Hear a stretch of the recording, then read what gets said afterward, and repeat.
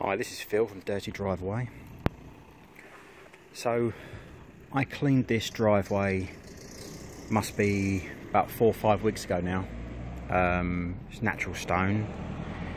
And after cleaning, you can see we've got all this black stain in. It's a very, very common question I get asked. Um, I get emails regarding it. And basically, in this video, I'm going to try and touch upon what it is, how to try and cure it, fix it, um, eliminate the stains, whatever you want to call it. Uh, it's it's going to be a I wouldn't say experiment. I mean, I have used, um, have come across this before, and I have fixed it to to some degree. Uh, I can't guarantee that it's going to work 100%, um, but from all the different drives, patios that I've done, I've had very good success. So we'll have a, just have a quick look at this. As you can see, we've got some black staining all over the patio, driveway even. As you can see, the driveway's in lovely condition apart from all this staining. You can see this yellow one here. This has been jet washed it was cleaned. So what is it? Well, you get two, from what I've come across, different types of black stains, marks, splodges, whatever you want to call them, however you want to describe them. Um, these are more like black stains. Um, you can get these like spots or splodges that appear on your driveway patio as well.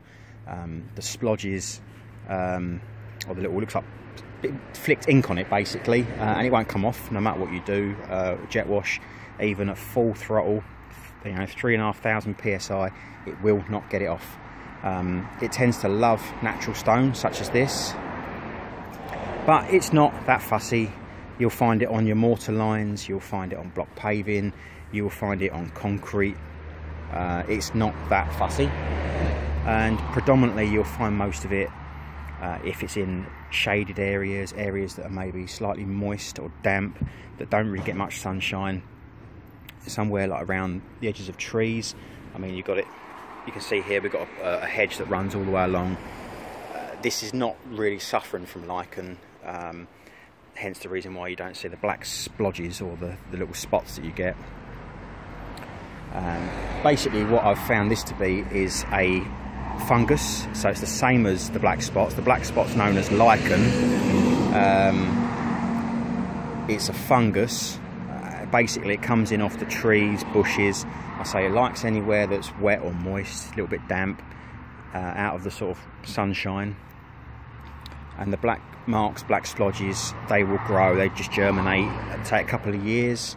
So one one year you'll find you won't have any, and then year, 18 months later, you'll think, my God, what's that?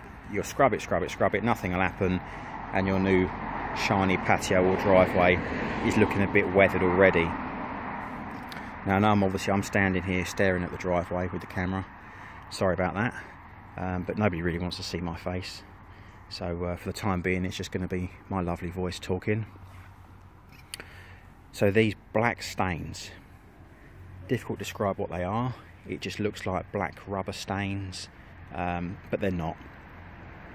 If I pan up you'll see we've got quite a bit of greenery around here. And up there we've got a lovely oak tree. And we've got some more over that side. Basically what this is it comes in off the oak trees. Um, I've done quite a bit of research on it. I've spoken to various people on it. And the oak tree basically suffers from a disease called canker.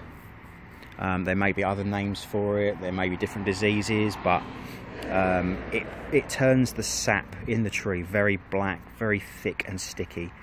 You'll start to notice it more, more if you park on the driveway.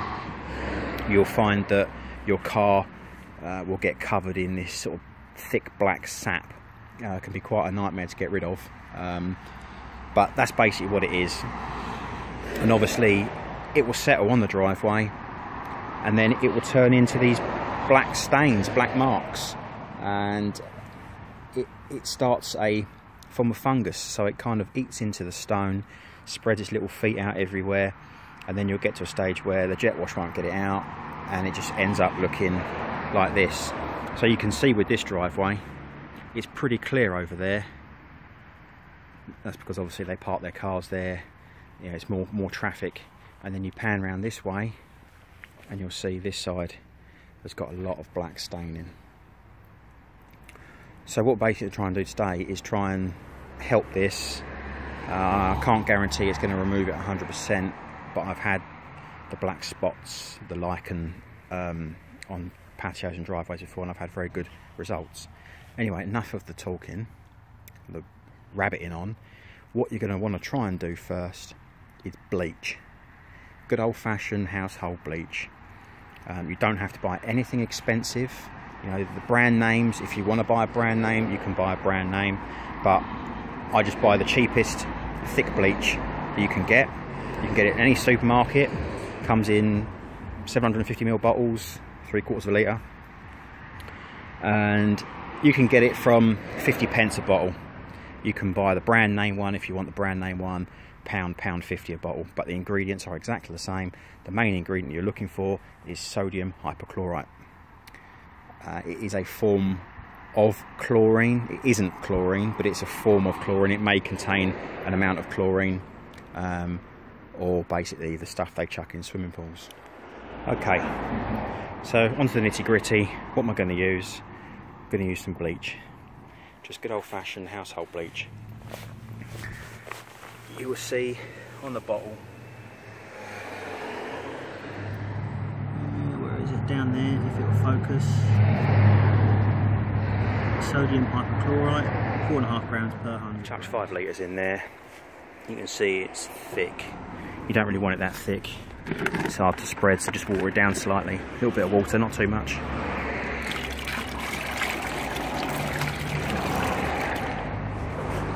just enough to thin it a little bit.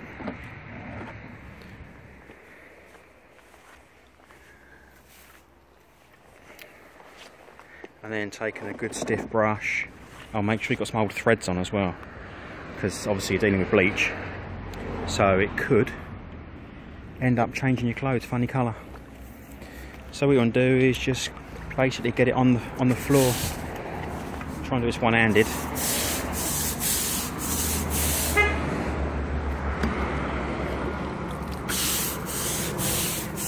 You got to do get it on. It's going to run away, but it's not a problem. So rather than me sitting here boring you scrubbing this driveway, I'm going to turn it off and I'll come back when I've finished right, this. Welcome back. Okay, so I've put a layer down. Obviously the foaming is uh, the surfactants within the bleach. So as you scrub it, it will foam. It's quite handy. You can see where you've put it. So I've put one quick layer down. And today is an ideal day. Obviously we are in August. It's quite warm, but it's overcast. It's not sunny. It's the best time to do this. If it was really, really sunny and the driveway or the patio is hot, um, it will make this dry out very quickly. So ideally you want to be able to keep it as wet for as long as possible. So a nice overcast day. Obviously it can't be raining because you're just going to dilute the mixture. So it just needs to be a nice overcast day. If you do have to do it on a sunny day um, and it's a smallish area you could put it down and then cover it with a tarpaulin or if you've got one of those pop-up gazebos and it's a small area. Some people only suffer with this on on the odd couple of slabs which is quite handy um, but not in this case. Um, so ideally on a nice overcast day when hopefully there's no fear of rain. So basically with the bleach mixture um, you can put it in a bucket or you can put it into a garden pump sprayer a watering can however you feel is easier to put it down. You're going to want to make it as thick as possible um, so that obviously that it will it will sprinkle or it will pour out. Um, I've used pump sprayers before. If you try and use it neat, it just doesn't come out. It just sprays in random patterns. So you're going to want to dilute it my recommended dilution is three to one. So that's three parts bleach, one part water. Or for every three litres of bleach, you add one litre of water just to thin it a little bit. You don't want to thin it too much because you'll just end up diluting it. So this has been down only about five minutes now. Um, and you can see it's it is starting to work. Um, it's starting to lift. And ideally what you want to do is you you just want to lift the um, the black stains out. Um, you may be able to scrub them out a little bit later but ideally you're going to want to leave this down for a couple of hours I say if it's a sunny day it's going to dry out. So you may need to quickly pop out after 45 minutes and, and put down another dose or give it a, a very light sprinkling with, with water. Because you may find the bleach won't actually evaporate but the water will but the bleach will dry on the stone. So you want to be able to keep it as wet as possible. So there's a quick look again. I'm going to give it another quick rinse down. I've got some more in a bucket I'd probably just swill it just sort of chuck some down give it a little brush in and then I'm going to leave it you're going to want it down for a good couple of hours so it gets maximum maximum penetration into the stone. So like I said before, this is bleach, common household bleach. It's cheap. And um, most of the bleaches, if you read, be it brand name or, um, you know, uh, like their own brand ones, rather than the high-end brand ones, they all contain the same ingredient, sodium hypochlorite, roughly four and a half grams per hundred. So if you work that out in a percentage, you're looking at four and a half percent. It is a form of chlorine, same stuff you, you chuck in a swimming pool. Um, if you want this to work quicker, and you can get your hands on some, you can use swimming pool sodium hypochlorite, which again is a form of chlorine. Um, don't mistake it for chlorine. And you can buy it from swimming pool shops. Um, it's quite easy to get hold of. Um, but it normally only comes in large quantities. You'll find it either come in 5 litres or 25 litres. For a driveway this size, you will need more than 5 litres. However, 25 litres will probably be too much. But you can always store it for a while, but not too long. Uh, the downside to um, swimming pool sodium hypochlorite is that it's a lot more expensive. Um, but on the upside, it's a lot stronger. Um, it contains roughly 14 to 15% sodium hypochlorite. So when you work that out, if you were going to try and work it out on comparison to the supermarket bought bleach, if bleach is 4.5%, 4.5 grams per 100, then obviously 14 to 15%, you've only got to do your math. Um, and you're looking at, what, roughly three times as strong. So this should work technically a lot quicker so I'd say this needs to be down for two hours, but if you did use swimming pool sodium hypochlorite, you could see results probably in as little as 20 minutes to half an hour. Okay, so second uh, rinse has gone down. Quick look at it. It's a little wander up here. Not very good on the camera, so excuse the shake and judder. You can see they're the ones that had quite a lot of black staining on obviously it's only been down about 15 minutes so we need to let it do its work. There's the couple of yellow ones. It's very hard to really tell. But yeah so I'll leave that down for a couple of hours. Come back later and we'll see how well we got on. Welcome back. Okay so it's now about two o'clock in the afternoon. The sun's getting a bit brighter. Uh, luckily this is still remained in the shade so this has been down about two and a half hours, maybe slightly longer. Uh, and as you can see, I think the results kind of speak for themselves.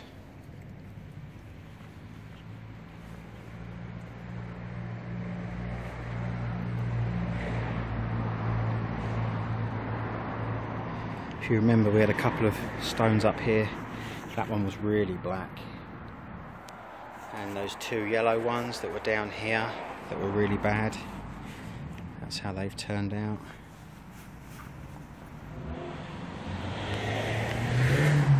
So, move around here. So what I'm basically going to do now is just rinse it down with a, a portable washer. Um, say it has already been cleaned previously so there's no need to go too too mad with it um, you may be able to remove some more of the black marks with the washer Uh, I've not yet touched it with a brush or the washer, so hopefully we can get looking a little bit cleaner, rinse down. But for a couple of hours worth of work, it's not really hard work. You can get some vast improvement. Hello, welcome back. Right, so I've rinsed it down, jet washed it with a little portable, and I think it's absolutely amazing. And uh, that was one one um, attempt. Um, I think it's come up really, really well. The beginning of the first video, you can see that was the stone there. Okay, there are a few black stains left. If you know, if you've got more time to dedicate to it, uh, I'm actually doing this as a favour um, because I'm quite interested in this and different methods and, and ways to try and remove it. So you'll see there are a few a few slabs with the odd bit left on it, but I'm sure another treatment um, you could you could easily just treat that the odd one slab here and there, um, just so you haven't got to do the whole driveway. If I move over here, the two yellow stones, as you remember from the video, it is wet at the moment. Obviously, it's still drying, but you can see the massive difference. If I just step back over here to get a shot from the driveway. Actually putting the bleach down seems to make the colours jump out. I only actually done about half of the driveway because that's all it was infected. So if I move back you can see the massive difference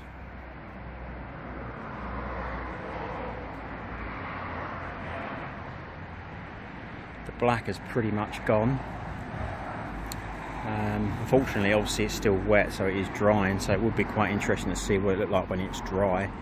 Um, but all in all, I think considering that was one application, it has done really, really well. There is a page on, on my website um, that is just sort of dedicated to lichen, the black splodges. Uh, if you want to have a read up on that, it sort of gives you sort of details, more instructions on you know mixing the bleach and stuff. Uh, I just thought that video would uh, give a better insight as to its effectiveness. I'll put a link in the description. Um, but if you want to see our website, it will come up at the end of the video, or you can go to www.dirtydrive-away.co.uk. Have a little browse through there. There are some pictures on there of the work that we've done in the past and also a page on the black splodges. So uh, please feel free to have a look. Alternatively uh, check the link out in the description below. I hope you found this video albeit long-winded I hope you found it informative. Um, this is a service that we can do for you if you don't want to do it yourself. However we don't push this service um, purely because it is something that a person at home can do if you've got a few hours. It Doesn't take much energy. It's cheap. Um, for a driveway this sort of size, I'd say you probably need only need around 10 15 litres of bleach tops so just stick it on your on your next supermarket shop and have a go but thanks for watching, thanks for bearing with me. I know you spent all that time basically staring at a driveway, listening to my lovely voice. But like I say, this video is is designed for information and I hope you found it of some use. Phil from Dirty Drive-Away back again. Uh, I was just chatting to the customer and uh, during that time the driveway is so warm it's pretty much dry. So I thought I would sneak this last little bit in um, just to show you obviously um, the drying and that it has dried out. A couple of slabs that were really bad at the beginning. Those two little yellow ones. Go for a close here